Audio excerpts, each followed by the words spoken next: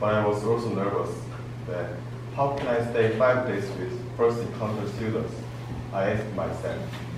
But now, I think it was worth spending my time here.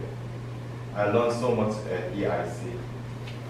When I arrived, I met four teachers, Chris, Sebastian, Jasmine, and Alison. They taught me not to be afraid of making mistakes. I have confidence, and thanks to their lesson, I could improve my English skills without any problem. I also met other students.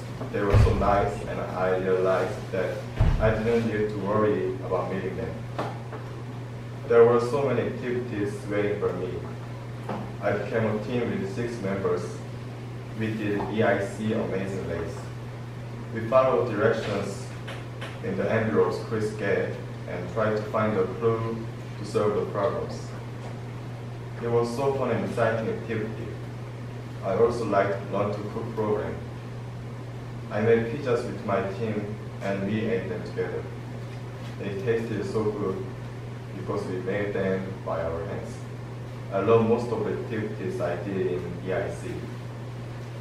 There are two things I learned at EIC. One is the mistakes lead to improvement. I really worried about making mistakes, but in EIC, I felt that my English skills were improving by making many mistakes. I really want to appreciate the teachers. The other is that I don't need to be nervous about facing something new. I felt shy about meeting new teachers and students, but by talking with them, I found they were really kind people and students were so nice too. Everything turned out nice. Time flies like an arrow, and it's time to, time to say goodbye to my friends I made at EIC. I'd like to have good relationships and keep in touch with each other after this EIC too. Thank English Immersion Camp for making me these unforgettable memories. Thank you.